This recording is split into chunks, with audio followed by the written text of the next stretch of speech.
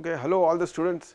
Yesterday I had explained to you a brief idea about the unification of physics starting with how Newton unified the falling of the apple to the uh, ground with the motion of planets around the sun. So, that unified the inverse square law of gravitation. So, that is it, show, it showed that the same inverse law of gravitation was responsible that is responsible for making the apple fall down is same as that responsible for holding the planets in an orbit around the sun. Then the next unification came when Maxwell unified electricity and magnetism with light and he derived the wave equation for by deriving the wave equation for the electric and magnetic fields and showing that the velocity of these waves comes out to be the speed of light when you calculate by substituting the values of the permittivity and the permeability. The next major unification came when Einstein uh, when uh, Einstein Planck when Planck, Max Planck Einstein Erwin Schrodinger Werner Heisenberg and Dirac they created quantum mechanics and uh, uh, it was not a unification, it was a new theory of micro of uh, quantum particle, particles on the quantum scale that is on the angstrom scale showing that non-commutative non-commutative calculus is required to describe the dynamics of uh, dynamics on a very small scale. The major unification came when Einstein showed that if Maxwell's equations are to remain invariant in all inertial frames then you cannot go for the Galilean transformation defined by Newton, but you must rather adopt the Lorentz transformation of coordinates that because and he said that the light speed of light should be a constant. That was one of the postulates of the special theory of relativity.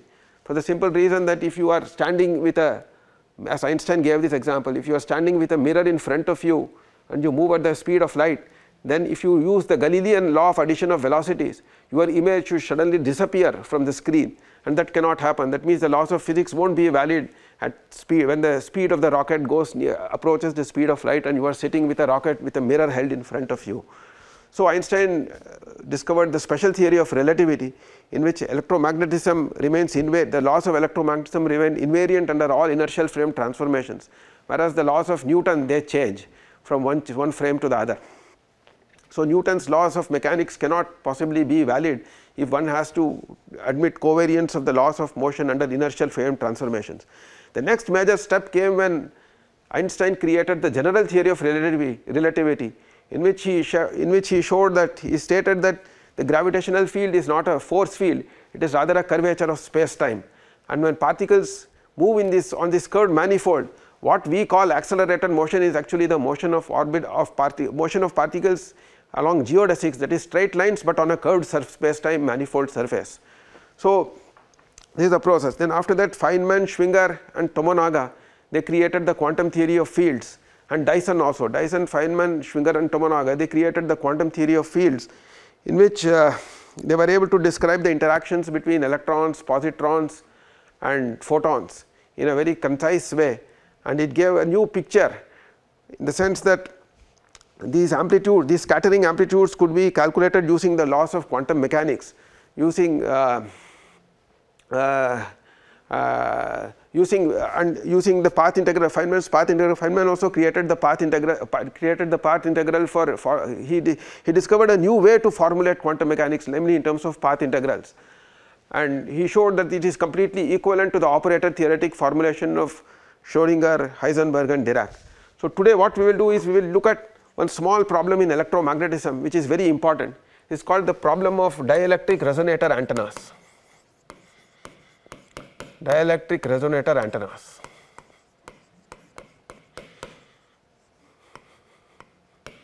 So, what you do here is you have a box, the side of the box, the side lengths of the box are A, B, C along the coordinate axis, A, B and D along the coordinate axis and within this an electromagnetic field is oscillating. So, the conduct the, the boundaries of this box are perfect conductors.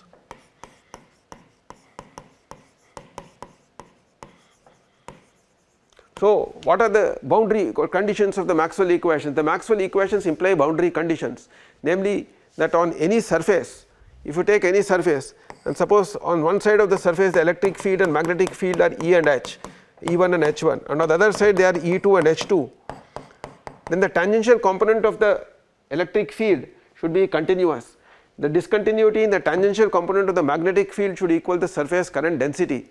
The normal component component of the displacement namely epsilon E1 and epsilon 2 E2 the normal component of the displacement uh, vector electric displacement vector that should have a discontinuity equal to the free surface free free surface charge density on the surface and the normal component of the magnetic field which is mu 1 h1 on one side and mu 2 h2 on, on the other side.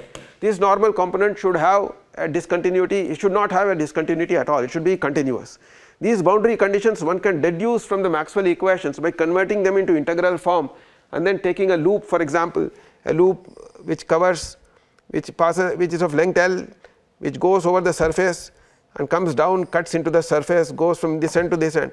And you allow the width of this loop to shrink to 0 and then apply the uh, for example if you want if you take the if you take max if you take Ampere's law in the form del cross H is equal to J plus dou d by dou t then this will imply that the integral of H line integral of H around the loop gamma is equal to the flux of J. This is the conduction current and the displacement current dot and ds over the surface. And as the width of the loop shrinks to 0 this surface shrinks to 0 so this will go to 0 and this will imply that the tangential component of H is continuous across the boundary. Likewise Faraday's law of induction curl of E is equal to minus mu dou H by dou T or you can write it as minus dou B by dou T. When you write it in integral form it will imply that the line integral of E around the loop E dot dl equals minus integral dou B by dou T dot and ds the flux of the magnetic field through the surface again as the loop shrinks to 0 this contribution becomes 0 and this will become equal to E1 the tangential component of the electric field on this side times the length of the loop on this side minus the tangential component of the electric field on this side times the length of the loop on this side. So I hope you are able to understand all these ideas. We want to apply these concepts to derive the modes of vibration of the electromagnetic field within the cavity and for that we need to do some work. So we write down the uh, where is the duster okay we write down the Maxwell equations which are relevant here. Del cross E in the frequency domain minus j omega mu h. And curl of h is equal to j omega epsilon e in the frequency domain. In the frequency domain the operator dou by dou t gets replaced by multiplication by j omega because signals which vary at frequency omega have a dependence of e power j omega t. And if you take the derivative with respect to time it will become j omega e power j omega t. So it is equivalent to multiplying by j omega. So these are the Maxwell equations this is always true this is Faraday's law of induction whereas this is true only when uh, the conductivity is 0 that is you put sigma as 0 within the conductor and uh, you and you assume that there is no current density within the conductor. So this is Ampere's law with the displacement correction displacement current correction term. In case the conductivity is also taken into account this will be replaced by sigma plus j omega epsilon times c where sigma is the conductivity. The reason is very simple the, the total current is the sum of the conduction current, the displacement current these two terms and maybe another current due to magnetization you can call it as Jm this is due to magnetic dipoles. So Jc by Ohm's law is given by is proportional to the electric field whereas Jd according to Maxwell is given by j omega epsilon e namely the rate of change of the electric field with time. So we look at Maxwell's equations within the resonator cavity curl of E is minus j omega mu h and curl of h is equal to sigma plus j omega epsilon e in the case that there is a conduction current. The general equation which we start which we start with is the generalization Maxwell generalization of Ampere's law namely this is equal to the j, j conduction current plus the displacement current plus the magnetization current where Jc by Ohm's law is given by sigma e. It is proportional to the electric field. Sigma is the conductivity of the medium. Jd is equal to dou epsilon by dou t multiplied by epsilon. This is needed in order to maintain the equation of continuity because if you take a divergence on both sides divergence of a curl is 0 so divergence of curl h is 0 so that will imply that divergence of jd jd plus jc is 0 which will imply that divergence of j divergence of jd or divergence of jc is equal to minus divergence of JD and that is equal to minus divergence of epsilon dou E by dou T and you can interchange spatial divergence, spatial uh, spatial differentiation with temporal differentiation write this as minus epsilon dou by dou T of divergence of E.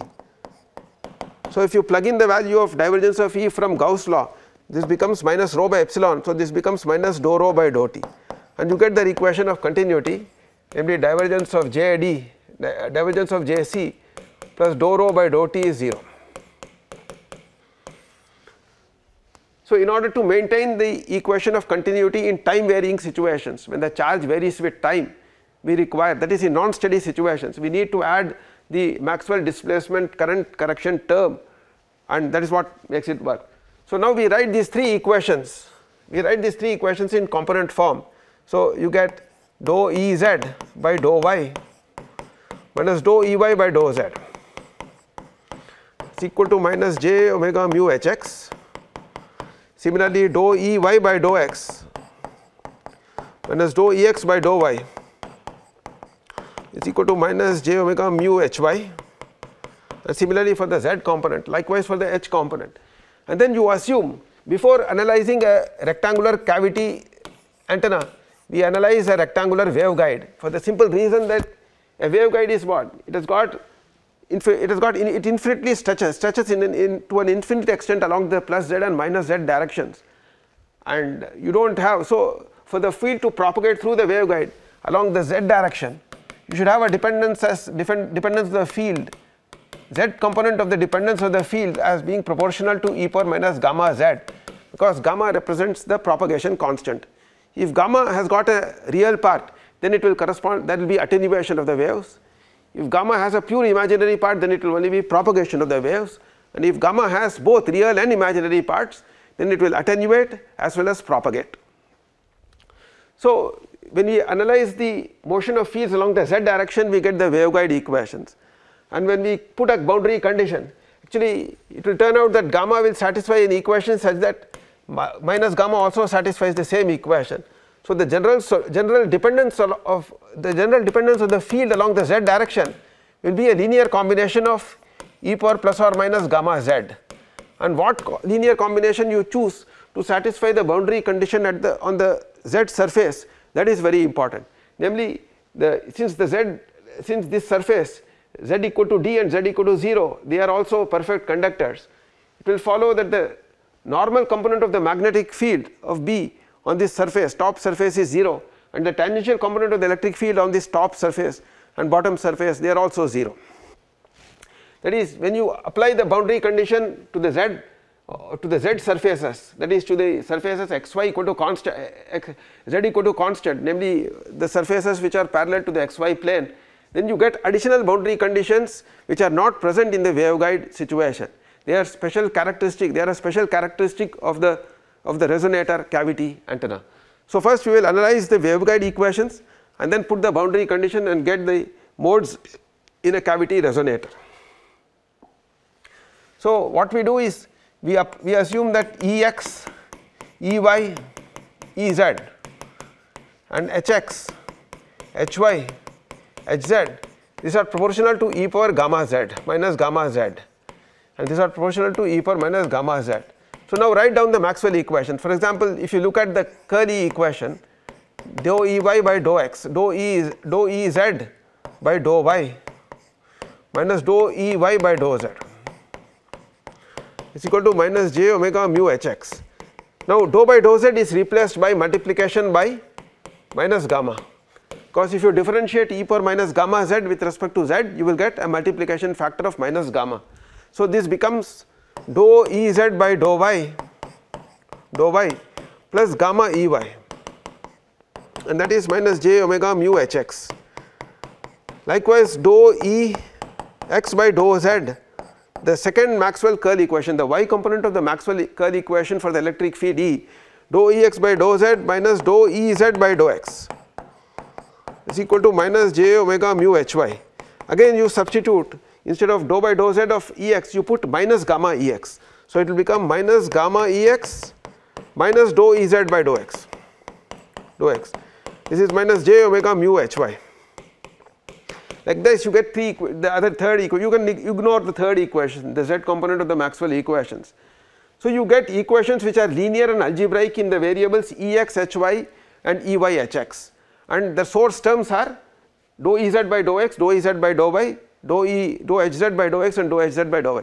That is you can solve in principle you can you have to solve only linear algebraic equations for expressing Ex, Ey, Hx and Hy entirely in terms of linear combinations of uh, the transverse components of the electric of the longitudinal transverse derivatives transverse gradient of the z component of the electric field and magnetic field dou Ez by dou y, dou Hz by dou x and dou Hz by dou y. You can solve these equations and I shall write down the solution sometime somehow this particular equation I happen to remember very well because I have taught it innumerable times in the class. I shall write down the final solution you can verify this you will get that Ex is equal to or you can write it in this form you define E perpendicular namely the xy components of the electric field vector to be Ex into x hat plus Ey into y hat. Likewise you put H perpendicular as Hx into x hat plus Hy into y hat. Now all these Ex, Ey, Hx, Hy they all depend on what? They depend on the frequency, they depend on x, they depend on y and the z component dependence is e power minus gamma z. Likewise for the magnetic field omega xy e power minus gamma z. So when you uh, solve for Ex, Ey there is another way in fact to write down the Maxwell curl equations entirely in the notation involving only E perpendicular and Ez instead of separating out E perpendicular into an Ex and an Ey and separating out H perpendicular into an Hx and an Hy. You can write the entire electric field vector as E z z cap plus E perpendicular. This is the longitudinal component by longitudinal we mean z direction because the waveguide is directed along the z axis its axis is parallel to the z direction and this is the transverse component. Similarly, you write H as Hz, Hz z cap plus H perpendicular and the dependence of all these terms all these E z longitudinal components of the electric field of the magnetic field transverse component of the electric field and magnetic field. They all have a dependence as on uh, dependence with respect to z as e power minus gamma z. So, you can also split the gradient operator. The gradient operator is x cap dou by dou x plus y cap dou by dou y plus z cap dou by dou z and x cap dou by dou x plus y cap dou by dou y this sum of these two terms that this that constitutes the transverse gradient operator. So you can write it as del perpendicular plus z cap dou by dou z. Now when you have an equation of the form say curl curl of E you want to write this equation in terms of transverse and longitudinal components what do you do simply wrote that curl is given by del cross del cross which is equal to del perpendicular plus z cap dou by dou z cross. And cross here you put E z for the electric field into z cap plus E perpendicular. And then you take the cross product. Del perpendicular cross E z z will give you del perpendicular E z cross z cap. Del perpendicular cross E perpendicular will give you a z component right because both are parallel both are transverse components del perpendicular cross E perpendicular will have only a longitudinal z component. Plus z cap times z cap cross z cap is 0 that will not give anything. But z cap cross this will give you something it will give you plus z cap cross dou E perpendicular by dou z. And this you substitute into minus j omega mu h is h z z cap plus h perpendicular. So, the perpendicular terms you equate the longitudinal terms. Del perpendicular cross E perpendicular is equal to if you equate the z components on both sides this is just a single scalar equation. You get minus j omega mu hz into z cap. So, I can write this equality as z cap dot this. That is the z component. And likewise if you look at the transverse component del perpendicular Ez cross z cap del perpendicular Ez has got only x and y components if you take the cross product of the x or y component with the z, z component you will again get an x or y component. So again this is a transverse part. So del perpendicular Ez cross z cap plus z cap plus z cap cross dou E perpendicular by dou z. Now this has got a E per minus gamma z dependence. So you can write this, you can replace this by minus gamma into uh, minus gamma into z cap cross E perpendicular because you can write dou E perpendicular by dou z as minus gamma E perpendicular. So you can replace this by this and del perpendicular E z cross z cap minus gamma E z cap cross E perpendicular is equal to the tangential component on the right hand side or the transverse component on the right hand side it is minus j omega mu h perpendicular. So like that you get two algebraic equations for E perpendicular and H perpendicular. In terms of the transverse derivatives of the longitudinal component of the electric field. You do the same thing for the magnetic field you do you, you will get again the same thing. Curl of H is equal to minus is equal to j omega epsilon E. Split the same thing you will get del perpendicular Hz cross z cap plus now curl can be written as what? Del perpendicular plus z cap dou by dou z cross. Cross. Here you are putting hz into z cap plus h perpendicular. So here you will get plus z cap. Z cap cross dou h perpendicular by dou z is hz with a minus gamma. The minus gamma. And that is equal to my del del cross h is j omega epsilon e. So j omega epsilon you put the transverse component of this. So again you get two equations. So you get two algebraic equations for the components E perpendicular and H perpendicular. E perpendicular and H perpendicular in terms of del perpendicular Ez and del perpendicular Hz. Is it clear to everybody? So you can solve these two algebraic equations and the final solution will be E perpendicular is minus gamma by h square del perpendicular Ez minus j omega mu by h square del perpendicular hz cross z cap. Likewise h perpendicular is equal to minus gamma by h square del perpendicular hz plus j omega epsilon by h square del perpendicular Ez cross z cap right where h square is given by gamma square plus omega square epsilon mu. Omega square epsilon mu is nothing but the square of the wave vector of the total electromagnetic wave inside. So, uh, in fact how does this term arise you can see it very clearly if you look at the wave equation del square minus del square plus omega square epsilon you start with say del square minus 1 by c square dou square by dou t square acting on any wave function is 0. If you if the time dependence here is e power j omega t that is frequ at frequency omega then this equation becomes a 3 dimensional Helmholtz equation namely omega square by c square acting on psi is 0. Now you know from Maxwell's theory that c is equal to 1 by root epsilon mu so you can also write this as del square plus omega square epsilon mu acting on psi is 0. So this is the wave vector omega root epsilon mu is a wave vector omega root epsilon mu is omega by c which is the wave vector k and dou del square is the 3 dimensional Laplacian. So it is dou square by dou x square plus dou square by dou y square plus a dou square by dou z square and dou square by dou z square is replaced by gamma square because dou by dou z is replaced by multiplication by minus gamma because the waves are propagating along the z direction.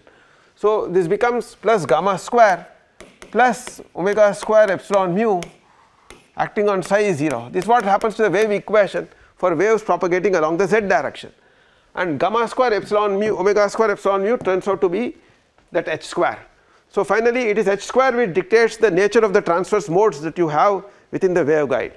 So finally what you get is that del square del perpendicular square where del perpendicular square is dou square by dou x square plus dou square by dou y square the transverse Laplacian operator. So, del perpendicular square plus h square acting on E z x y h z x y this is equal to 0. This is the equation for the fundamental equation of a rectangular dielectric resonator not antenna rectangular waveguide rectangular dielectric waveguide. It will become a resonator once we cover the top surface with a conducting perfect conductor and cover the bottom surface with another perfect conductor.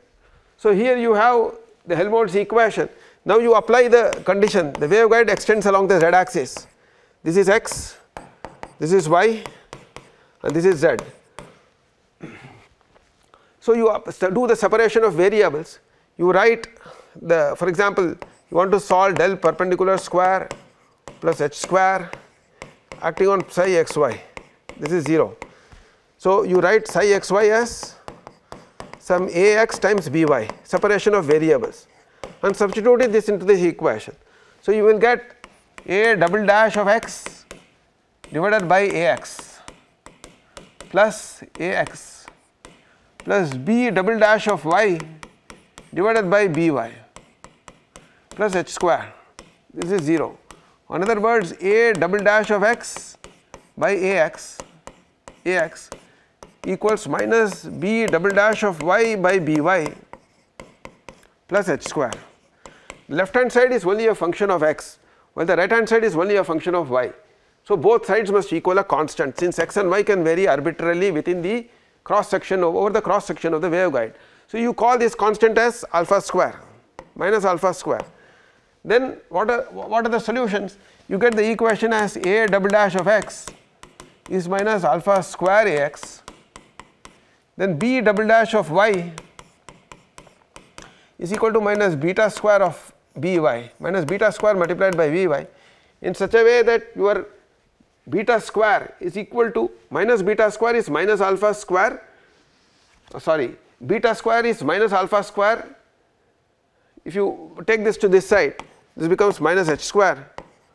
So, this becomes uh, this becomes you remove the minus sign this becomes plus sign. So, alpha square plus h square and this must be minus beta square. Just see carefully what we are doing. You get a double dash x by ax plus b double dash of y by by plus h square is 0 and you are putting a double dash by a as minus alpha square. So, this becomes h square minus alpha square plus b double dash of y by b is 0 or b double dash by b is alpha square minus h square which must be minus beta square or equivalently alpha square plus beta square must be h square. So, this is the condition which the two model eigenvalues should satisfy along the x direction and along the y direction. So, let us see what are the possible solutions. If you solve a double dash of x equal to minus alpha square ax, this is the familiar equation which we encounter when we read in mechanics the equation of motion of a harmonic oscillator in one dimension. You know it has got solutions as cos alpha x and sin alpha x linearly independent solutions. So, you can write the solution as you can write the solution as ax is equal to c1 cos alpha x plus C2 sin alpha x. Similarly, you can write the solution to By as By is some d1 cos beta y plus d2 sin beta y. Now, you are what you are suppose you are looking suppose you take your psi function as the Ez function to start with. Psi can take psi has two possible values either it is Ez or it is Hz we have been able to express by this analysis the transverse components of the electric field and magnetic field in terms of the longitudinal components. Everything the whole physics has to be reduced to only longitudinal components or the z component. So, if you put psi equal to Ez xy then you note that the tangential component of the electric field should vanish on the boundary because the boundary is a perfect conductor. You see if you take a perfect conductor this space is a perfect conductor then the tangential component of the electric field should vanish here. Why? Because within the conductor you cannot have any electric field. If you have any electric field in the static situation in an equilibrium situation then what is the meaning of a perfect conductor? By definition a perfect conductor has perfectly mobile charges electrons and these electrons any small electric field will cause these electrons to move rapidly and accumulate on one side until they generate a reaction electric field opposite in direction equal and opposite in direction to the applied electric field so that equilibrium is maintained so that the charges do not move and in this equilibrium situation there cannot be net any net electric field within the conductor. If you apply an electric field for example in this direction all negative charges will come here it will pull all the positive charges here it will push all the negative charges here until a reaction electric field will be generated in the opposite direction which will cancel out the direction of application of the electric field and the net electric field within electric within a conductor must be 0.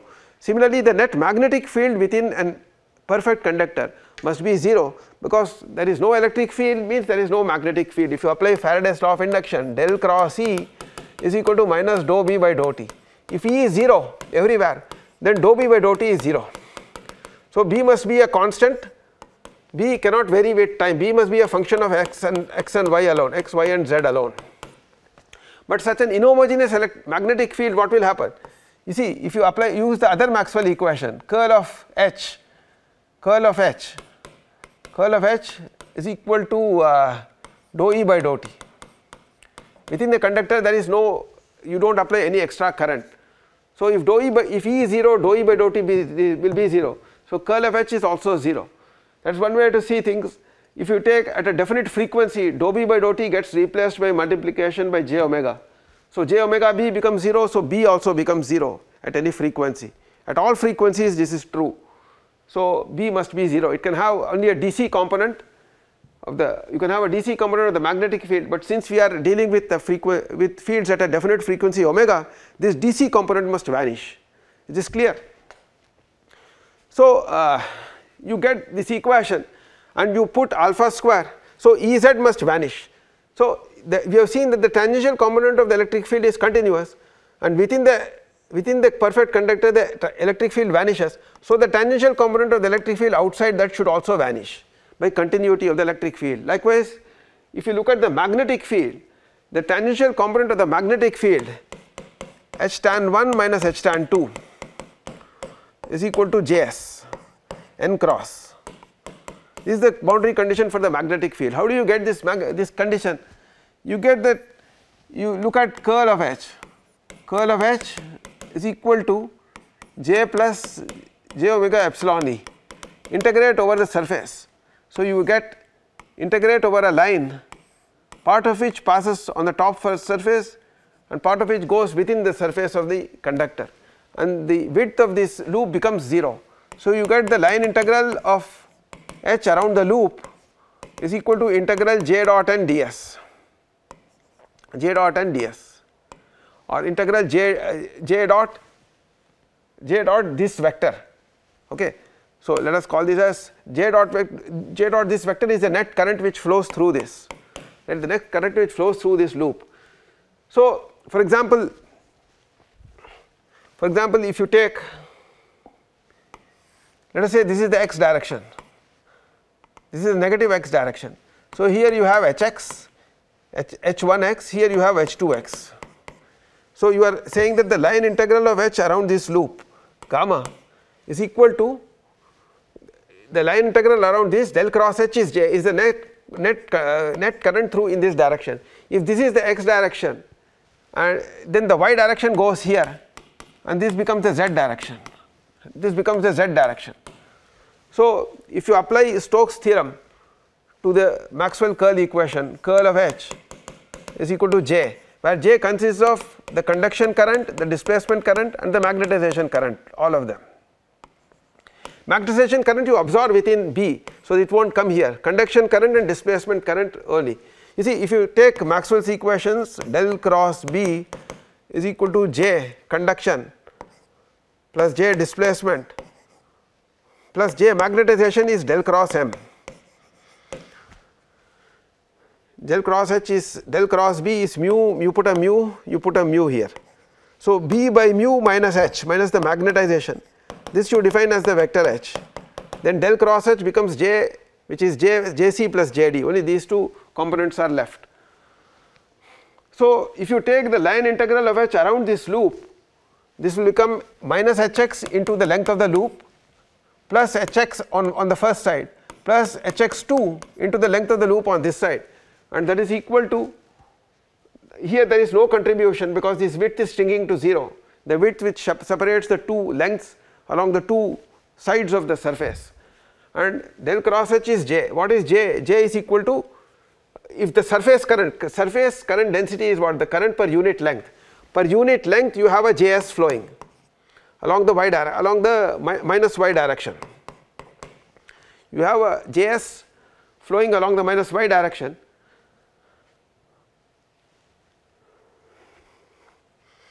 So, uh, if you calculate the current it will be what it will be Js times current per unit length. So, you multiply by the length JSL multiplied by this width you will not take the width current per unit length you are taking. So, Js into L. So, this is minus Js y into L. If the current flows along the y direction it will contribute an amount the surface integral the surface integral of Js over this surface will be Js times L. The surface integral you are looking at j dot ds where ds is ds is this surface. And j dot this surface this can also be written as the surface current per unit length times this length. Because if you interpret your js into delta as being j along the direction js per unit length multiplied by l is a total current j is the current density so this is same as j multiplied by the surface area so, you can conclude that Js must be equal to J times delta, but delta is shrinking to 0. So, the current density becomes infinite, but the surface current remains finite on a perfectly conducting surface. Okay. So, you get the equation that Hx1 minus Hx2 is equal to Jsy. In general you can derive this equation for the other components also and what you will get is that the normal to this surface if you take any surface the unit normal to this surface from the second direction to the first direction the second direction to the one first direction n cross h1 minus h2 that is a tangential component but this is orthogonal to n so it represents the tangential components in some linear combination and that is equal to js so the maxwell boundary the boundary conditions of maxwell's equations the boundary conditions of maxwell's equations imply these are obtained the, the boundary condition obtained from uh, Ampere's law with Maxwell's displacement current correction term in the Maxwell equation that leads to a the following boundary uh, boundary condition on the tangential component of the magnetic field, but the normal component of the magnetic field is continuous. So, if you apply this condition in, in particular you see that Ez vanishes here, Ez vanishes here, Ez vanishes here, Ez vanishes here. And what is that Ez? it is a combination of cos alpha x C1 cos alpha x plus C2 sin alpha x and D1 cos beta y plus D2 sin beta y. Now this must vanish when on this surface, this surface is y equal to 0, okay, this surface is y equal to 0, this surface is y equal to b, this surface is x is equal to 0 and this surface is x is equal to a. So if you put if you put x as 0 then cos alpha x becomes 1 sin alpha x becomes 0 this becomes C1 so C1 must be 0 likewise if you put y equal to 0 then you should get d1 as 0 if this is to vanish. So you get d1 equal to 0 if you put so the electric field tan, the z component of the electric field has a dependence on x and y of the form sin alpha x sin beta y now you put the boundary condition, apply the boundary condition that the, that Ez should vanish when x is equal to a and should also vanish when y equal to b. Then what do you get? You get sin alpha a must be 0 and you get sin beta b that must also be equal to 0. So in other words you get alpha is equal to n pi by a and beta equal to m pi by b where n and m are some integers. N and m belong to the set of integers. So, what is h square then? h square was nothing but h mn square which is alpha square plus beta square that was the model eigenvalue which was n square by a square plus m square by b square multiplied by pi square. So, what is the electric field now?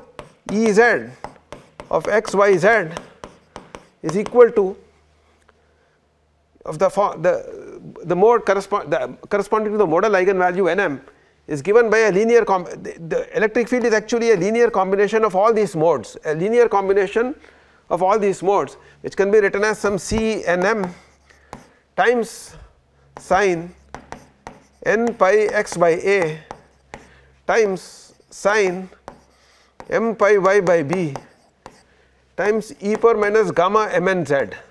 What is gamma mn? You remember you have the equation omega square epsilon mu plus gamma mn square must be hmn square which is equal to m square by a square plus n square by b square multiplied by pi square. So, that implies that that implies that omega square epsilon mu plus gamma mn square is equal to h mn square which is m square by a square plus n square by b square multiplied by pi square. So, that gamma mn is equal to plus or minus square root of h m n square minus omega square epsilon mu which can be written as plus or minus j omega root epsilon mu times square root of 1 minus h mn square by omega square epsilon mu. So, obviously gamma mn if you are going if this is positive if this has got a positive real part then you, it can propagate only on, along the z along the z direction. You see you are looking at e power minus gamma mn z that is the dependence of the field on the z direction. So, if you write gamma mn if you write the real part and imaginary part of this as some alpha mn plus j beta mn then this becomes e power minus alpha mn z plus j beta mn z. So, if alpha mn is greater than 0 it attenuates along the z direction. If you look along the z direction for waves propagating along the positive z direction alpha mn cannot be negative because that will imply a blowing up an infinite exponential blow up of the power which is not possible. So, you must take the negative solution the solution which has a negative real part here you must consider.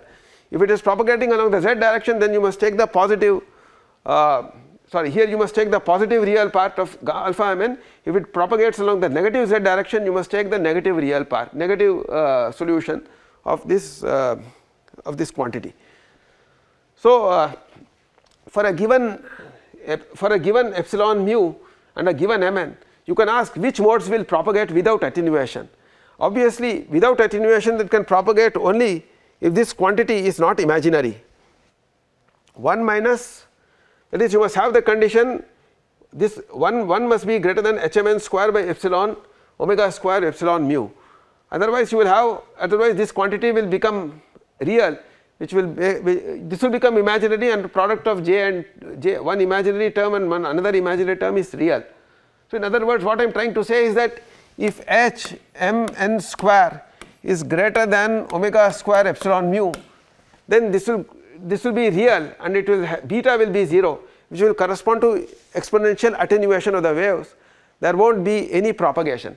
So, waves will propagate only when h m n square is less than omega square epsilon mu for propagation. That is the mnth mode will propagate, mnth mode will propagate, mnth mode propagates if and only if omega is greater than hmn by root epsilon mu.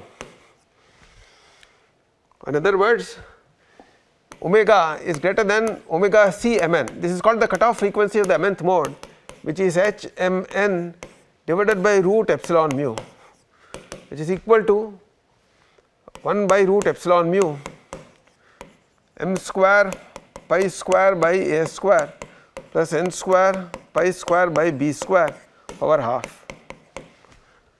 That means the cutoff mode cutoff frequency for the mnth mode is given by pi by root epsilon mu times m square by a square plus n square by b square power half.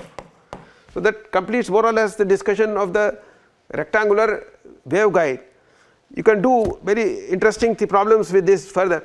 For example, if you look at a gravitational field and you want to see the effect of the gravitational field on electromagnetic waves, then you have to write down the covariant form of the Maxwell's equations.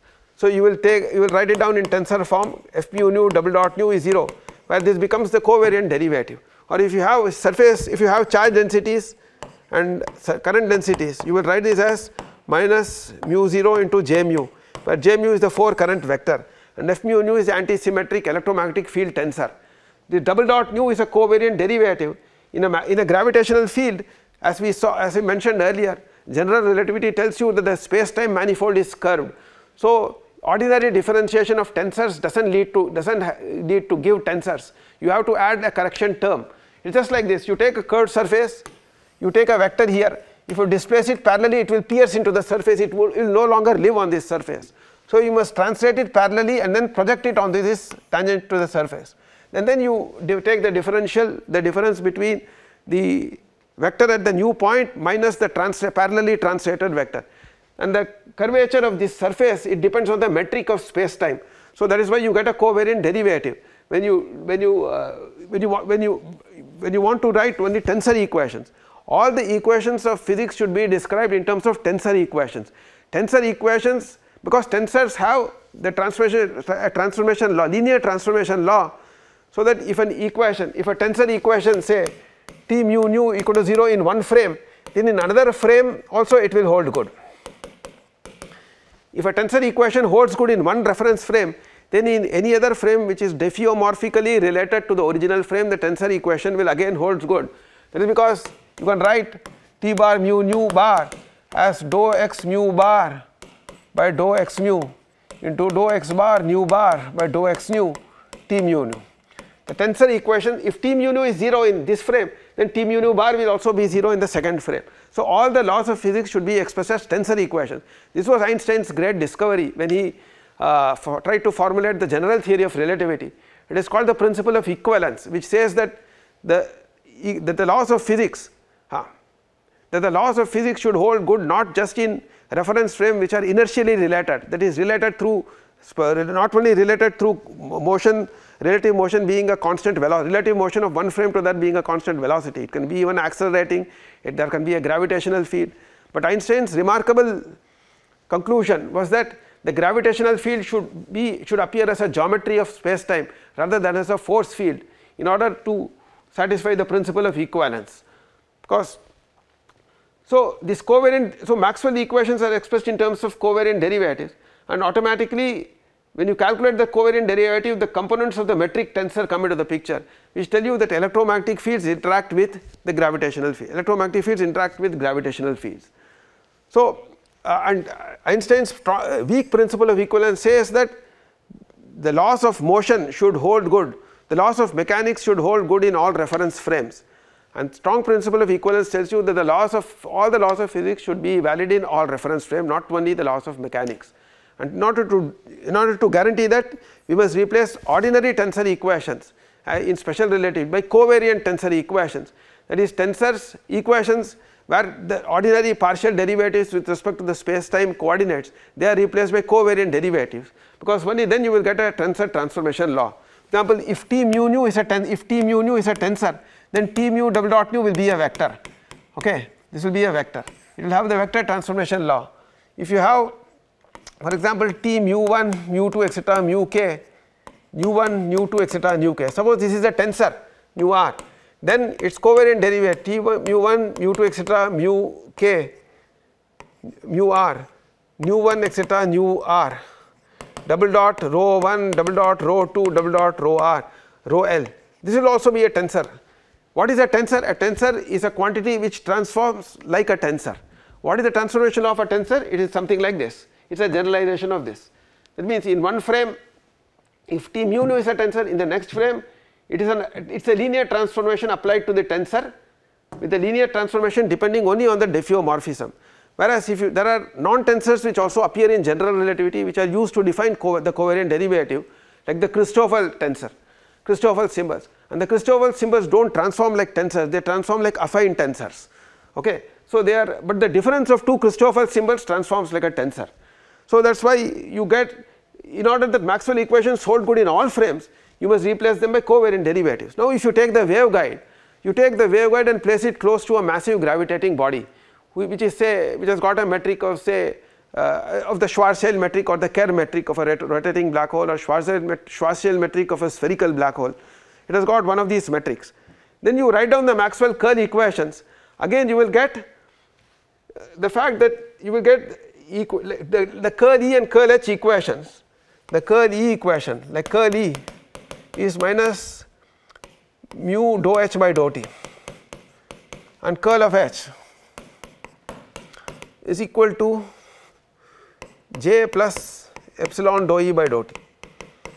These two Maxwell curl equations will not be as them as they are the metric tensor, ter, tensor term will also creep into these equations. To calculate that for example you look at say f0 r root minus g comma r is 0. This replaces the Gauss divergence equation namely divergence of d divergence of divergence of E equal to 0 in the absence of any charges. It replaces the equation. If you look at the replacement of the equation divergence of B equal to 0 it is given by FRS root minus G comma S equal to 0 where RS takes values 1, 2 and 3 and the Einstein summation convention is adopted that is we sum over the spatial indices. If you look at the equation for example curl of uh, curl of E curl of uh, curl of H is j plus epsilon dou E by dou T and divergence of E is equal to rho by epsilon. These two equations they are replaced by uh, in the absence of charges it is true. If you uh, no if you look at divergence of B equal to it is not replaced by this. This equation if, see let us just see. Divergence of B is equal to 0 there are two Maxwell homogeneous homogeneous equations. Namely divergence of B is 0 and curl of E is equal to minus dou V by dou T. Faraday's law of induction and the no, no magnetic monopole condition are two homogeneous equations in which appear in the Maxwell equations and they are replaced by f mu nu comma sigma plus f nu sigma comma mu plus f sigma mu comma nu is 0 right and they are automatically satisfied if you take f mu nu as being derived from a 4 vector potential namely namely dou mu a nu minus dou nu a mu. So, this is a tensor equation. The other Maxwell equations namely the inhomogeneous Maxwell equation involving sources namely the Ampere's law with a source term and a displacement correction displacement current correction term and Gauss law with charge density these two get replaced by f mu nu double dot nu is equal to minus mu 0 j mu or equivalently you can write them as f mu nu root minus g comma nu is minus mu 0 j mu. So, if you look at this Maxwell curl equation within the waveguide in the absence of j it will involve it will involve fr fr 0 root minus g comma 0 plus frs root minus g comma s is equal to 0 there is no current inside. So, this Maxwell curl equation gets replaced by this whereas this Maxwell curl equation gets replaced by one of these equations namely f0 r comma s plus frs comma 0 plus f s0 comma r is 0 and obviously here you have a contravariant components of the field tensor coming. Here you have a covariant uh, covariant terms coming. It is not like this not like the Maxwell's equations in flat space time for a metric which is in the absence of a gravitational field. So you have to relate this contravariant and covariant components through the metric tensor. That is you write fr0 as gr mu g0 nu f mu nu and similarly you write FRS. So you write FRS as GR nu, GR mu, GS nu, F mu nu. So everything if you express in terms of covariant terms there will be a mixture coming and the metric tensor will come into the picture it will get involved when you write down the equations field equation. Okay now I continue with my lecture. Um, before going to the dielectric resonator uh, antenna I would just like to mention one thing that we had we had for the for a rectangular waveguide we have derived the formula for the mth mode of the electric field as uh, given by sin m pi x by a sin n pi y by b into e power minus gamma mn z. Where gamma mn is the propagation along the z direction this guarantees that Ez will be 0 when x is 0 Ez will be 0 when x is 0 or a that is at the two side walls of the waveguide and it will also be 0 when y equal to 0 or b at the other two side walls. So, this defines the electric field completely the mth mode of the electric field. Similarly, you can do for the magnetic field for the magnetic field that will also satisfy Helmholtz equation namely del perpendicular square plus h square hz is 0. It will also satisfy a two dimensional Helmholtz equation. Separation by variables will again give you a linear combination of cos alpha x, sin alpha x and cos alpha y, cos alpha y, cos beta y and sin beta y. A linear combination of such modes when I say this into this it means all four possible combinations are possible this into this, this into this, this into this and this into this and alpha square plus beta square is constrained to be equal to h square and h square is m square by a square plus n square by b square into pi square where m and n are integers.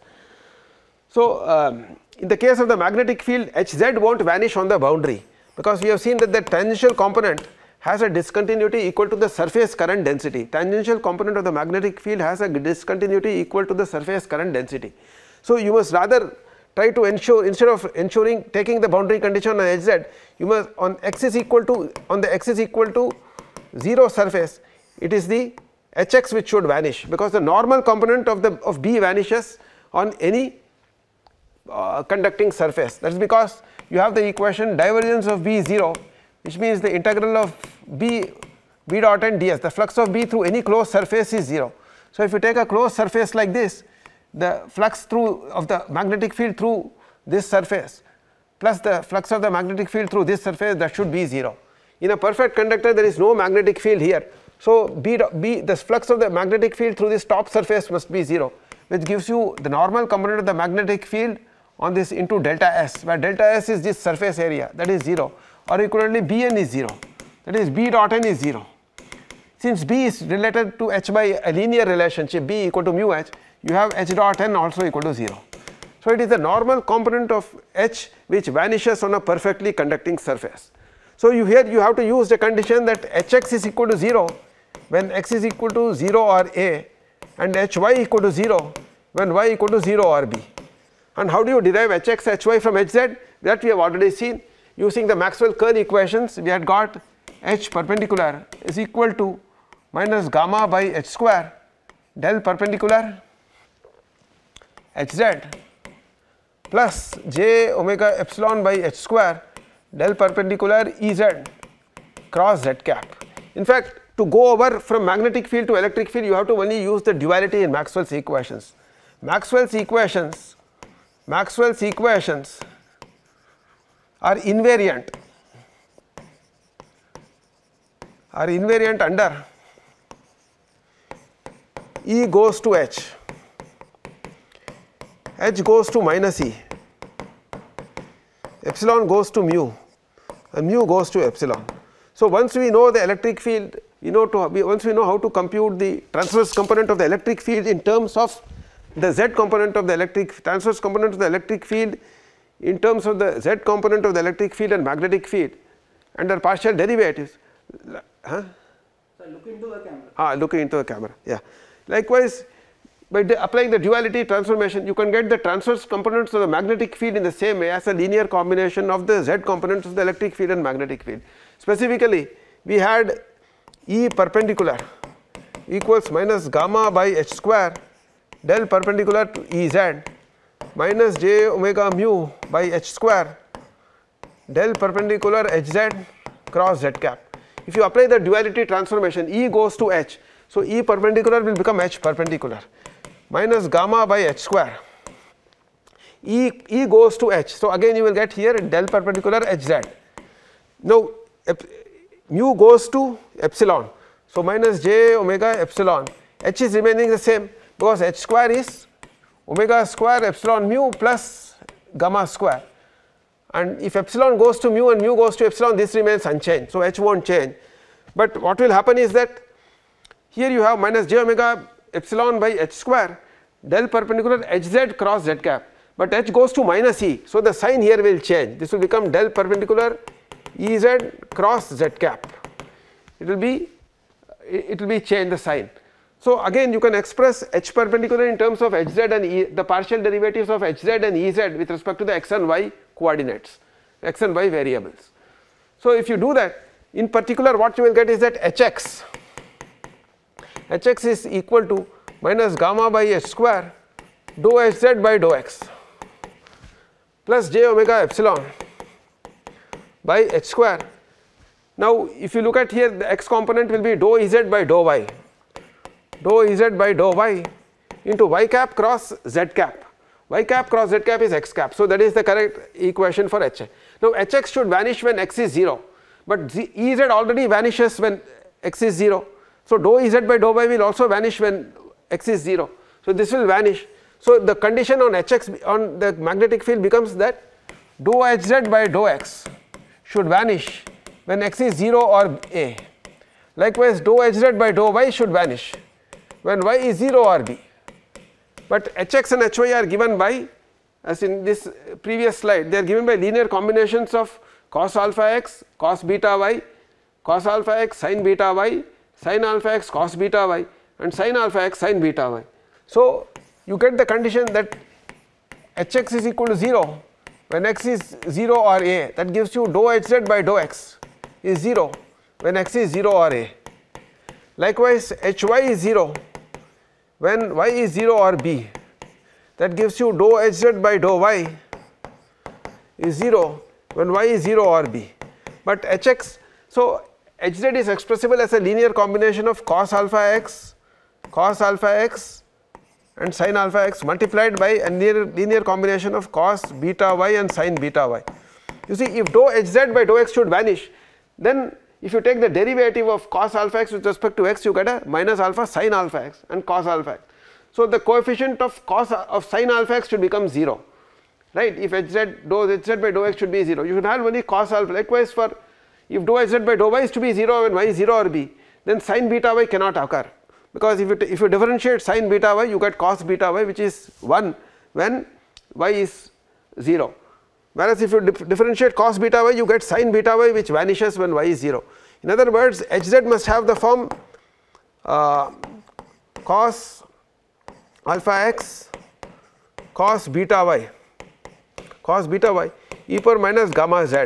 Now you apply the condition that dou hz by dou x should vanish even at x is equal to a and dou hz by dou y should vanish when y is b. If you differentiate hz with respect to y with respect to x you get sin alpha x. So sin alpha x should vanish when x is a. So this is 0 that means alpha is n pi by a where n is an integer. Similarly beta becomes m pi by b. So for hz you have the expansion for hz you have the modal expansion summation dmn dmn cos m pi x by a cos n pi y by b and the gamma n is not going to change because the modal eigenvalues are the same e power minus gamma mn z summed over mn into of course e power j omega t. What was E z? What was the modal expansion of E z? It was summation C mn sin m pi x by a sin n pi y by b into exponential minus gamma mn z. It is a it is a curious situation here. Only in the case of rectangular waveguide both the Hz and Ez have the same modal eigenvalues. That is because you, you get a special form of the solution as in terms of cosines and sines. If you differentiate, you get the same thing. But in the case of a uh, cylindrical waveguide, for example, the two modal eigenvalues will be different because Hz satisfies uh, the Helmholtz equation with Neumann boundary conditions. That is the normal derivative, normal component, normal derivative of Hz, um, derivative of Hz along the normal direction is 0, whereas Ez satisfies Helmholtz equation with the Dirichlet boundary condition namely Ez itself vanishes on the boundary. In general the two boundary conditions give you two different types of eigenvalues. It is only in the case of the rectangular waveguide that the modal eigenvalue remains the same. What is the modal eigenvalue? It is equal to pi square into m square by a square plus n square by b square right. Now if you have you can have various situations you have what is called the TE modes TE means transverse electric TM means transverse magnetic in the TE mode your Ez is 0, you do not have a longitudinal component. In the TM mode your Hz is 0, you do not have a longitudinal component of the magnetic field. So TE, so TE waves are obtained completely from Hz whereas Tm waves are obtained completely from Ez. So, in the case of a Te wave you will have E perpendicular is equal to minus j omega mu by h square del perpendicular hz cross z cap. And you will have h perpendicular as you will have E perpendicular as del perpendicular hz there will not be an Ez term because Ez vanishes for the TE modes. And for the TM modes you will have minus gamma by h square. Uh, sorry for the TE modes you are again having minus gamma by h square del perpendicular hz everything is derived from hz alone. It is just like the superposition principle in circuit theory. You want to find out the response of a circuit to Ez and Hz. You switch off Hz so that you have a TE mode and find out the response to Ez. Then you switch off Ez, find out the response to Hz and add the two you get a linear combination of TE and TM modes, you will get all possible modes. Likewise in the case of TM modes, your Ez is 0, so your E perpendicular becomes equal to uh, everything is de derived completely in terms of Ez minus gamma by h square into del perpendicular Ez and h perpendicular is uh, j omega epsilon by h square del perpendicular Ez cross z cap. So, if you know Ez you can calculate in principle if you know Ez and Hz in principle you can calculate all the components of the electric field and the magnetic field in a waveguide. Now of course these modes are also orthogonal with respect to the standard inner product on the on L2 of the cross section on the Hilbert space which is the L2 of the cross section. Now uh, I should just mention something see the relationship of all this with quantum mechanics before I go into the rectangular uh, dielectric resonator antenna. So how do you how do you relate all these things to quantum in quantum mechanics you have a you have two types of equations the Schrodinger equation Schrodinger equation and the Dirac equation. Schrodinger equation is the non-relativistic equation for, a, for an electron whereas the Dirac equation is a relativistic wave equation for the electron.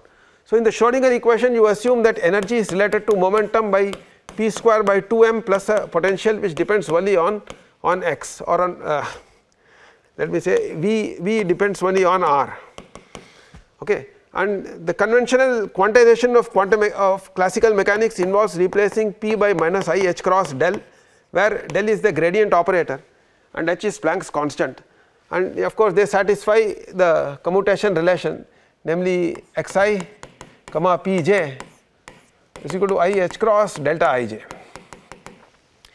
In the Dirac equation what happens is that it is a more accurate equation because you are taking relativity into account you start with the energy momentum relation here in the in the Schrodinger equation the energy momentum relation between relation between energy and momentum is given by this but in special relativity it is given by E square is equal to c square p square plus m square c power 4.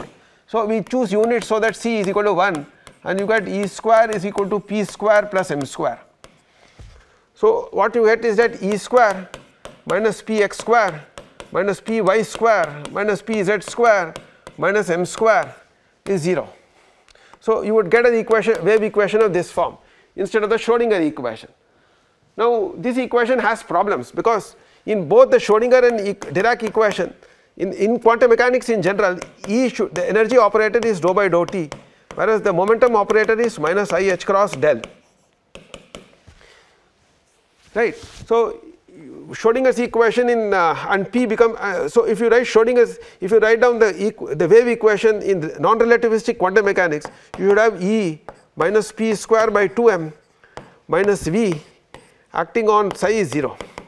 So if you make the replacements these operator relations these operator replacements this becomes dou by dou t minus 1 by 2m plus 1 by 2m h square del square minus V acting on psi 0 or I dou psi by dou t is the Hamiltonian acting on is the Hamiltonian acting on psi. So, I h cross dou psi by dou t is the Hamiltonian acting on psi where h is given by minus h square by 2m del square plus V the Hamiltonian of the Schrodinger particle. But uh, in quantum mechanics the wave equation should always be first order in time it cannot be second order or third order for the simple reason that evolution in time t followed by evolution in time s should represent evolution in time t plus s. That means you should have a relation a transformation law u, t plus s should be equal to t t t s which means that t t must be equal to t t must be of the form e power minus i t h the evolution operator must be of this form. Of course, why cannot it be second order? If it is second order then t t will have two terms. For example if it is second order it may have e power i t h into a first wave function plus e power minus i t h into a second wave function, but this will destroy unitarity of the evolution. This will destroy unitarity of the evolution. And you require the wave function norm square to be preserved as evolution goes along with time. So it must be first order. Whereas if you use the Dirac's equation if you use the if you go into special relativity you get an equation which is quadratic in time. This becomes what? It is called the Klein-Gordon equation. You get minus h square dou square by dou t square plus h square del square minus m square acting on psi is 0 this is called the Klein-Gordon equation. This is not acceptable as an equation of quantum mechanics because it is second order in time. It will have two solutions one corresponding to forward time another corresponding to backward time and unitarity, unitarity of the evolution will be destroyed. So, conservation of probability will not hold good mod psi square represents the probability density function. So, that is broken. So, what you do here is what you do here is what Dirac did was of course you can ask you can take the, you can ask the question suppose you start with the Klein Gordon equation namely dou square by dou t square psi uh, minus del square psi plus m square psi 0 taking Planck's constant as 1 and c equal to 1 then this is same as saying that dou square by dou t square is represented by the corresponds to the operator del square minus m square acting on psi. Or equivalently dou by dou t corresponds to root of del square minus m square formally acting on psi. So, you may replace this equation to get a first order equation as dou psi by dou t is equal to plus or minus square root of del square minus m square acting on psi. This is a first order equation in time, but you cannot give meaning to the square root of this operator. So, what Dirac said was okay let us do the factorization you have to factorize this into linear factors minus px square minus py square minus pz square minus m square acting on psi equal to 0. You cannot factorize this out using normal complex numbers. So, Dirac suggested that we use anti-commuting matrix plus alpha x px plus alpha y py plus alpha z pz plus beta m multiplied by E minus alpha x px minus alpha y py minus alpha z pz minus m acting on psi 0 where the uh, where you you you make you choose these matrices. Go you choose instead of taking alpha x alpha y alpha z beta as complex numbers which will not help us. You see when you factorize say x square minus y, x square plus y square you can write it as x plus iy into x minus iy x minus iy when you go to 3 or when you go to a third 3 variables x square plus y square plus z square cannot be factored into linear into, into linear uh, as a product of linear combinations of x, y and z. So, you have to if you use only complex numbers namely i 1 and i. So, you must use some matrices to do this factorization while you interpret the 1 as an identity matrix. So, if you choose alpha x, alpha y, alpha z and beta as 4 cross 4 matrices such that they anti-commute with each other that is alpha x, alpha y plus alpha y, alpha x is 0, alpha y, alpha z plus alpha z, alpha x is 0, alpha x m plus beta alpha x is 0 all these anti-commute and they have square equal to ident 1 identity. That means if you take alpha x square equal to alpha y square equals alpha z square equals beta square equal to i and alpha x alpha y plus alpha y alpha x is 0 likewise for alpha x alpha z and alpha y alpha z. And alpha x beta plus beta alpha x is 0 and likewise for the other components. Then you get a factorization of this Klein Gordon into linear parts. And Dirac said let us choose one of these linear parts and replace this equation that the Klein Gordon operator acting on psi is 0 replace it by this operator acting on psi is 0 then you get a linear equation. So, E minus alpha x p x minus alpha y p y minus alpha z p z minus beta m acting on psi is 0 where now Dirac showed that you can get this you can get the desired factorization by using okay Dirac showed that you can get this required factorization E minus alpha x p x minus alpha y p y minus alpha z p z minus beta m. You can get this factorization by choosing 4 cross 4 matrices for alpha x, alpha y, alpha z and beta. You can ensure that they anti-commute and mutually anti-commute and the squares are the identity. And you get a Dirac relativistic wave equation which you write in the form of E minus alpha dot p minus beta m acting on psi 0. When you want to look at the interaction, so this describes the sea of electrons and positrons. He showed that the, if you take for example the hydrogen atom potential, then you will get both positive and negative energy solution. The negative energy solutions correspond to positrons because it corresponds to removing out an electron from the sea of electrons and creating a positron. So, a negative energy electron is interpreted as a positive energy positron. You can also obtain the same result by going using what happens in an electromagnetic field. In an electromagnetic field, P gets replaced by P plus Ea where minus E is the charge of the electron. That is because when you write the equations of motion in Hamiltonian form or in Lagrangian form, you, you, you can derive for example in the classical case the equation of motion of a charged particle as m into mass into its rate of change of velocity is equal to q times E plus V cross B and this equation can be derived from a Lagrangian from an action principle by taking minus m0 or half mv square the kinetic energy minus q times the potential minus v dot a this starter. If you take this as the Lagrangian then you get the non-relativistic equations of motion. If you want the relativistic equations of motion you should replace the kinetic energy by m0 c square root 1 minus v square by c square minus q times the potential minus v dot a. Okay, if you call this as L Lagrangian as a function of time, position and velocity. It depends on time because the potential can depend on time. V dot A becomes V dot A as a function of T and R, these also depend on time. So, if you define the momentum by dou L by dou V and apply the Legendre transformation to get the Hamiltonian namely Hs P dot V minus L, P dot V minus L, the Hamiltonian as this, then the Hamiltonian can be expressed as you can show that the Hamiltonian, you can show that this Lagrangian gives rise to the correct equations of motion, namely the Lorentz equations of motion of the charged particle. And if you uh, want to express this in Hamiltonian form, you make the Legendre transformation according to this, then H will come out to be P plus Ea square by 2m plus V minus EV for an electron. And you can write you can alternately write the Hamiltonian equations of this system in classical mechanics as dr by dt is equal to dou h by dou p and dp by dt is equal to minus dou h by dou r. Hamiltonian equations.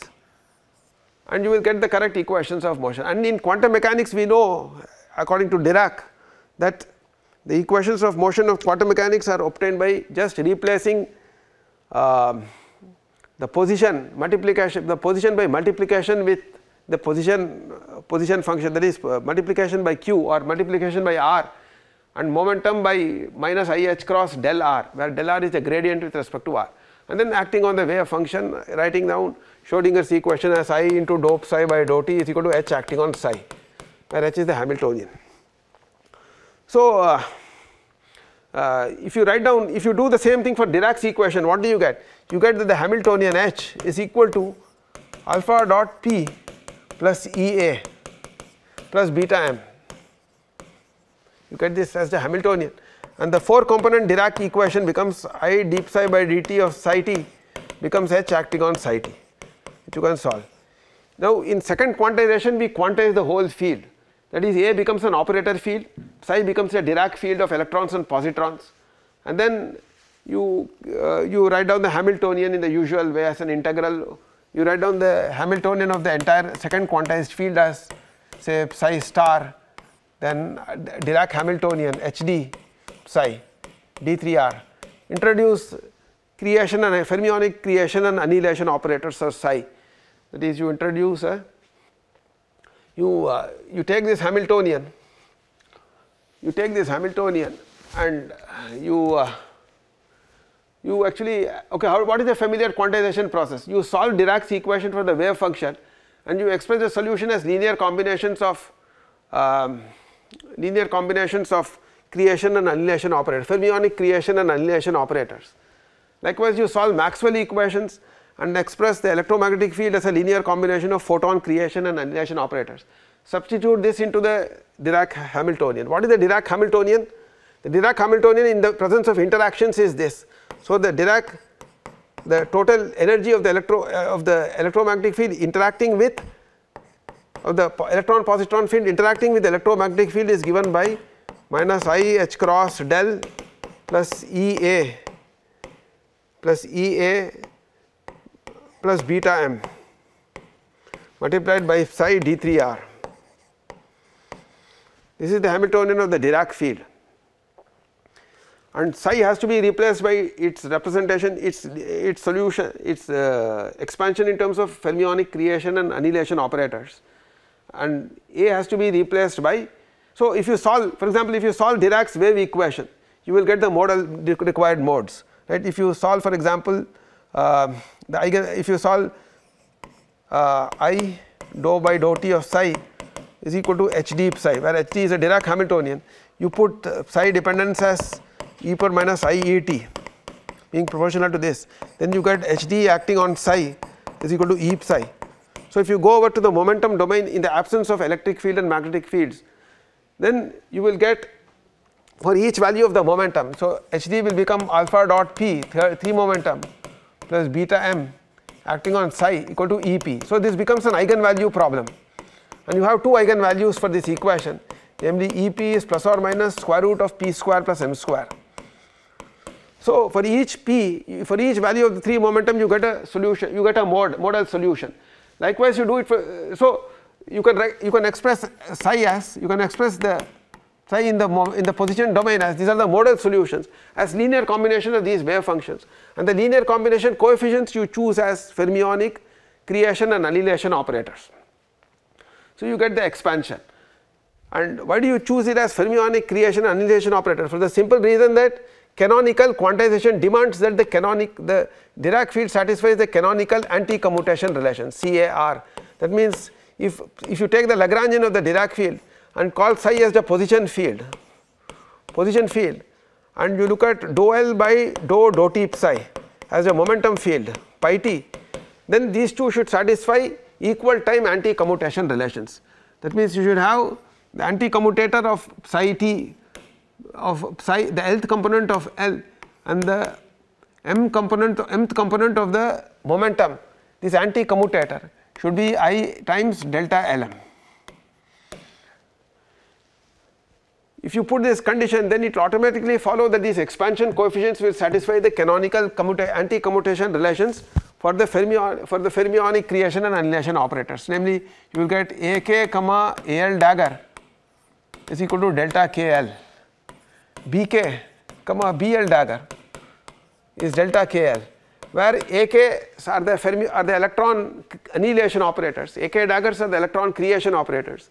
Bks are the positron creation op annihilation operators. And bk dagger are the positron annihilation operators bk daggers are the positron creation operators. These anti commutation relations will hold good for these coefficients. And you can express the energy of the Dirac field namely this integral as by plugging in the, these exp modal expansions of psi. So, you will get the that the energy the Hamiltonian of the quantized Dirac field is given by simply of something of the form an integral of the form A p sigma dagger A p sigma plus B p sigma dagger B p sigma into E of p d3p where sigma takes values 1 and 2 that corresponds to the fact that the Dirac Dirac uh, equation in the momentum domain has 4 linearly independent solutions. Dirac eigenvalue equation has 4 linearly independent solutions corresponding to the fact that it is a 4 by 4 eigenvalue problem for a 4 by 4 matrix matrix. For the eigenvalue EP plus EP which is equal to root p square plus m square you have two modes, you have two eigenvectors. And for the eigenvalue minus EP which is minus root p square plus m square you have another two modes. So, sigma takes two values 1 and 2 or you can take plus half and minus half and this gives you the Hamiltonian of the Dirac field. Okay. So, uh, likewise if you look at the electro quantization of the electromagnetic field what do you do there? You write down the Hamiltonian of the electromagnetic field. How do you do it? You derive Maxwell's equations from a Lagrangian namely minus 1 by 4 f mu nu f mu nu or equivalently from a Lagrangian given by half E square minus B square. You can derive Maxwell's equations from this action principle. Delta of this, the variation of this is 0 in free space in the presence of charge matter it is delta integral uh, j mu a mu that is you rho phi rho v minus j dot a d 4 x where rho is the charge density, j is the current density. If you take the variational variation of this and set this equal to 0, you get Maxwell's equation. So, if you write this in covariant form of special relativity, in the covariant form of special relativity, then F mu nu is expressed in terms of the vector potential namely dou mu a nu minus dou nu a mu in terms of the 4 vector potential and uh, if you and a mu also satisfies the wave equation in free space. So, the wave operator acting on a mu is 0. If you write the solutions to this equation with the Lorentz gauge condition being assumed only then it will satisfy the wave equation. Then you will get an expansion for the electromagnetic potentials in terms of bosonic creation and annihilation operators. And you substitute and into the Hamiltonian. What is the Hamiltonian?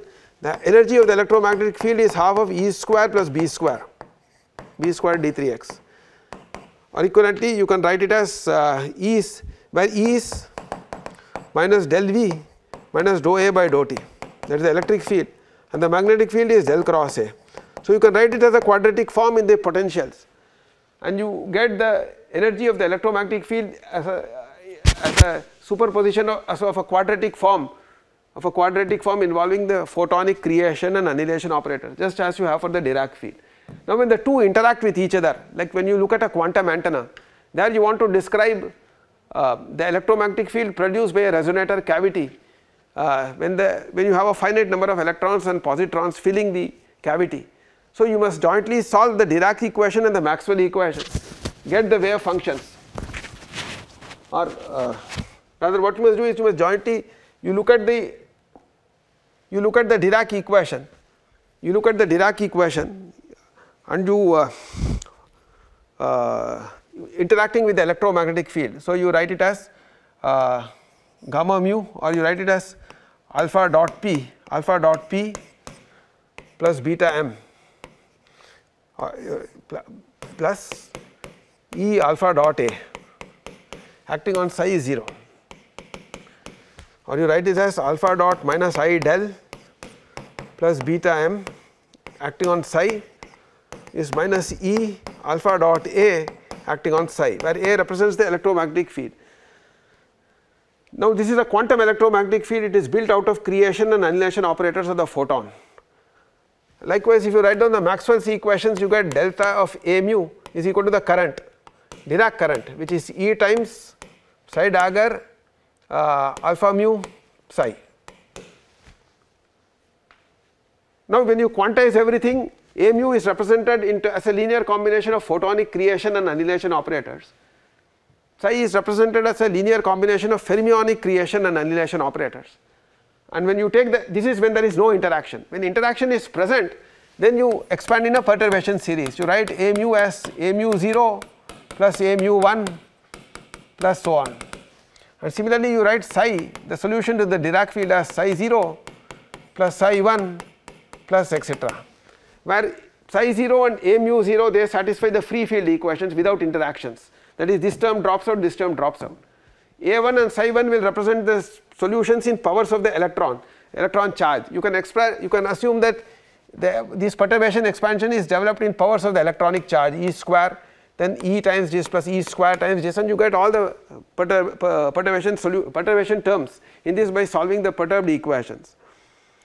So once you have this perturbation expansion for example suppose you have A mu 0 plus A mu 1 E times mu 1 and you have psi 0 plus E psi 1 then in this perturbed state you can calculate things like what is the average electromagnetic field fluctuation at a large distance. So, once you have the perturbation to the Dirac field, you can compute the perturbations to the Dirac current within the resonator cavity.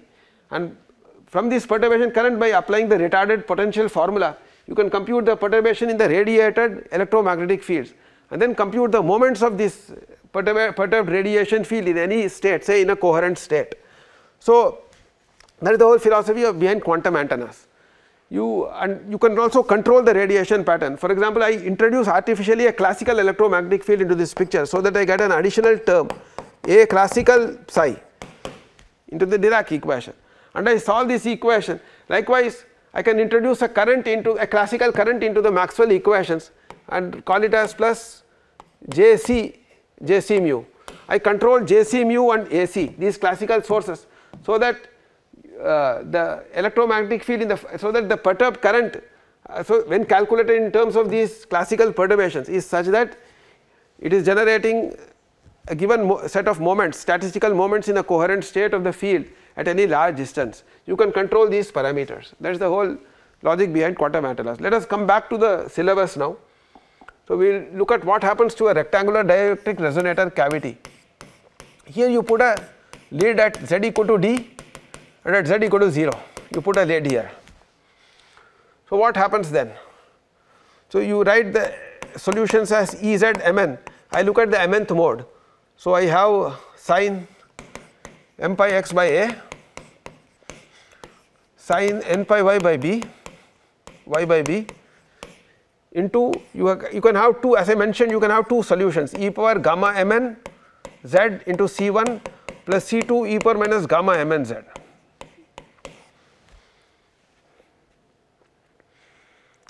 That is because if you look at the wave equation satisfy it depends only on gamma square Helmholtz equation depends on gamma square. So, if gamma is a mode minus gamma is another mode. Similarly, Hz you can write as cos m pi x by a cos n pi y by b then d1 e power gamma mn z plus d2 e power minus gamma mn z. Now, you require that Ex and Ey, Ex and Ey are 0 when Z is 0 and D because the top and bottom surfaces are perfect conductors. You also require that Hz is 0 when Z is 0 and D. So, if you put the condition that Hz is 0 when Z is 0 and D only one combination will survive. Namely this must be of the form sine of some beta mn z. Sine of some beta mn z. Where I have taken gamma mn I call as gamma mn as j beta mn. So, this will vanish when z is 0 if you take d1 if you take c1 if you take d1 equal to 1 and d2 equal to minus 1 then you get sin h. If you take gamma mn as j beta mn you get sine. So, this will vanish when z is 0 and to get vanish to get a vanishing term when z is d this beta mn z this beta mn z should be of the form beta mn d should be of the form some p pi where p is some other integer. That means your this whole term should be replaced by sine pi p z by d. But then what will happen? You are in trouble then the frequency has to change because what is your gamma mn? What is your gamma mn? It is j beta mn. But you have omega square epsilon mu plus gamma mn square that means minus beta mn square that must be h HMN square right that must be HMN square and HMN square is m square pi square by a square plus n square pi square by b square. So, omega and, and beta mn is pi p by d. So, you will get a constraint on omega from this. You will get that omega square epsilon mu can take only the values m square by a square plus n square by b square plus p square by d square into pi square where m and p are integers. So, it means the possible oscillation frequencies within a rectangular dielectric resonator antenna are quantized, they are discretized. You cannot get all frequencies of propagation. In a case of a rectangular waveguide, you have you can have any frequency. If the frequency is greater than the cutoff frequency, then that mode will propagate. If it is lesser, than, then it will attenuate. But nevertheless, you can have all possible frequencies. In the case of a rectangular dielectric resonator and resonator antenna, that is a cavity, a rectangular cavity you have to when you impose the additional boundary condition on the z equal to 0 and z equal to d surface it will follow that omega can take only discrete values namely omega m n p which is equal to pi by root epsilon mu into m square by a square plus n square by b square plus p square by d square power half where m and p are integers. This is the most characteristic feature of a resonator antenna of a cavity resonator antenna. Let us now look at what happens in the quantum context. Quantum context. You enclose electrons, positrons and photons within a box. So, you are solving Dirac's equation with the boundary condition that psi should vanish on the boundary right. Then you will get for the if you solve Dirac's equation you will get you have to solve alpha comma minus i del plus beta m acting on psi is equal to e psi. You have to solve this equation and you have to solve this with the boundary condition that psi vanishes on this surface. If you solve this you get psi tr in principle you get psi tr. How do you solve this? You simply expand your psi t x y z as linear combinations of sin m pi x by a, sin n pi y by b, sin p pi z by d and you substitute that into Dirac this equation and derive algebraic equations for the coefficients of expansion. So, E will take only a set of quantized values which I call as En and the modes I will call as Un by a single variable I am labeling it where Un of r where by n I mean MNP the triplet of integers MNP. So, you can write the Dirac solution as in this box as summation Cn Cn UNR UNR e power minus i ENT ENT plus DN VNR e power i ENT e power i ENT where now Cn and Dn will become will be interpreted as fermionic uh, creation and annihilation operators. So, Cn will be an electron annihilation operator, Dn will be an, a positron creation operator. So, you get the wave function in terms of these operators, the wave field rather in terms of these operators. Then when you put an electromagnetic field interacting with this, what about the electromagnetic field when I solve within the box I get the same expansion as that in a dielectric resonator antenna as a, in a dielectric cavity. So, I am able to get the vector potential, the vector potential as linear combination of those modes C, M and P into whatever I mentioned there. You see in the previous slide okay you get an expansion for this in terms of the modes. What are the modes? You have omega m and p as the possible frequencies. You also know the modes of um, you also know the modes of the waveguide. Sin m pi x by a, sin n pi y by b. And then you put a sin p by z by c. D normalize it. So, call that as UMNP that is UMNP for the electric case. R, R means x y z. And you can also have uh, you can also have uh, um, of course this into e power minus i e power e power i omega mnpt mnpt okay? So you take the real part of this uh, since these are all real in any case you do not have to worry about that. So the transverse electric case you had this. When of course you are putting the boundary condition that hz vanishes at 0 and d and ex ey vanish at 0 and d. So you are able to get um, an expansion for hz and uh, you express this in this form. And CMNPs will now be interpreted as boson. Likewise you will have a since you are putting real part of this whole thing you see whenever you describe a phasor how do you write it you write ATR as some real part of AR A tilde R into e power j omega t. So you are taking the real part which amounts to taking another term which in operator theory means you are taking the Hermitian part of this. So a C dagger term will also appear and the CMNP and CMNP dagger, CMNP dagger terms will be interpreted as respectively photon annihilation and photon creation operators. CMNP will be a photon annihilation operator of mode MNP. It will annihilate a photon having mode value MNP and CMNP dagger will, uh, will create a photon having mode MNP and you substitute this into the equations for into the Maxwell equations Maxwell Dirac equations. What are the Maxwell Dirac equations? They are nothing but um, alpha comma minus i del plus beta m acting on psi is equal to minus E times uh, alpha comma A psi. And you put a control classical field also alpha comma A classical psi. And similarly you have the wave operator acting on A mu A mu okay, acting on A mu is equal to minus E psi dagger alpha mu psi plus J mu. J mu classical. So, when you substitute for, for psi the 0 the 0 thought you expand this as a perturbation series and take the psi 0 and a 0 as those solutions which I just described. Namely corresponding to MNP mode an expansion in terms of MNP modes using photon creation and annihilation operators for that mode. And likewise expanding psi 0 in terms of the Dirac modes UMNP taking it uh, you, with linear combinations given by CK and DK which are the electron creation operators, electron annihilation operators and photon creation operators.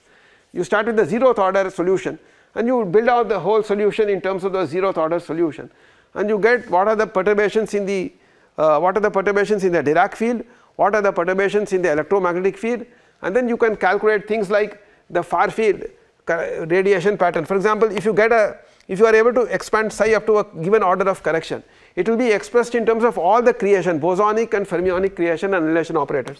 So, you will get psi dagger alpha mu psi. This is j mu into E. And then you take the value of this at t t minus mod r minus r dash by c comma r dash divided by mod r minus r dash integral over the cavity. That will be the far field radiated vector potential after uh, let us call it as scattered. Scattered potential the potential radiated out electromagnetic potential radiated out by the cavity. And then you can look at the moments of this in any state. Say in a coherent state I look at the moments of this say a mu 1 a, a mu 1 at t1 r1 r1 a mu 2 at t2 r2 etc a mu k at tk rk comma phi you calculate these statistical moments of the electromagnetic radiation field and you can calculate the average Poynting vector also all in the in a coherent state. And you can see when super directivity takes place how to control these fields so that the, the given mo these moments they are as close as possible to a given set of moments. Or equivalently so that the power pattern has a certain form. Like that you can uh, you can solve those problems also. Okay, so today we discussed the basic equations which describe propagation of electromagnetic fields within a rectangular waveguide after applying the appropriate boundary conditions we got the modal expansions and we described what are transverse electric transverse magnetic uh, fields at a given for a given modal value mn. Then we also discussed the dielectric resonator cavity uh, by putting a closing the waveguide with a conducting surface on both the top and bottom what are the modal expansions for the electric field and magnetic field. We showed that the frequencies get quantized or discretized in the case of a cavity antenna, in the case of a uh, dielectric cavity, but they do not get quantized in the case of a waveguide. And then we described a little bit of quantum mechanics, what does how to what is the what is what are what are the Schrodinger what is the Schrodinger equation for an electron in an electromagnetic field what is the Dirac equation for an electron in an electromagnetic field how do you quantize the electric field and magnetic fields and the Dirac field and how do you describe particles say electrons and positrons within dielectric resonator cavity and uh, how do you compute their far field the statistics of the far field radiation patterns. So, what we discussed today it was just a introductory lecture. Now, we will come to next time we will come to some more advanced parts of this subject where I will indicate the detailed calculations involved in arriving at these things at these uh, at these conclusions.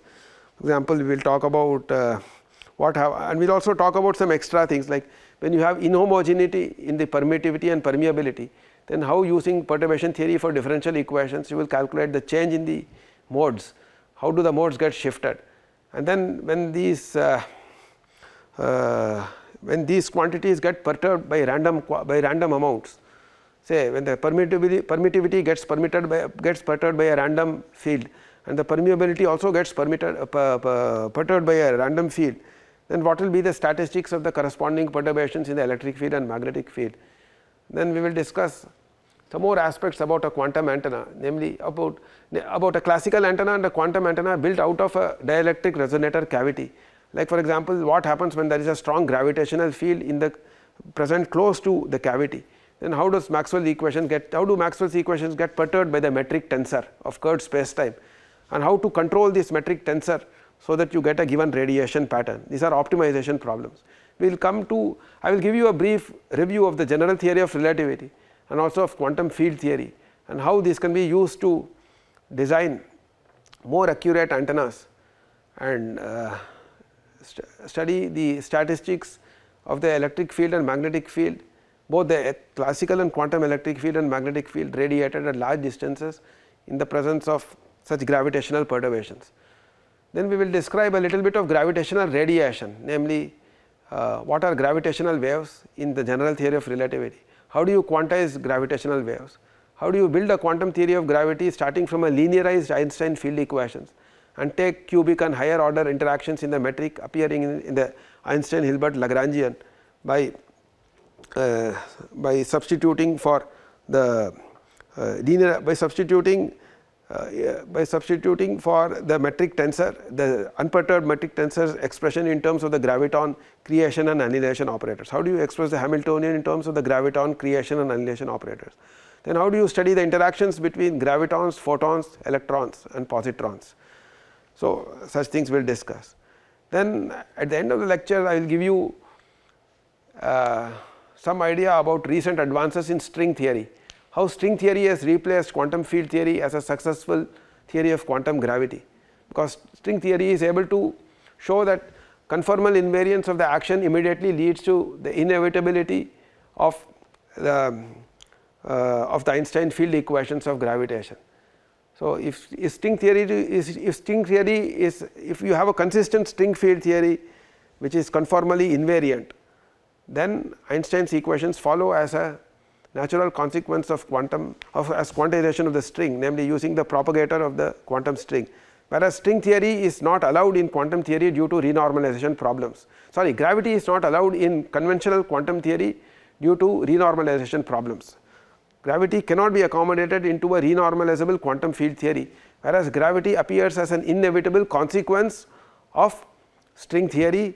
If you require if you put the additional assumption that the string theory action is conformally invariant. We will discuss these issues in the coming lectures.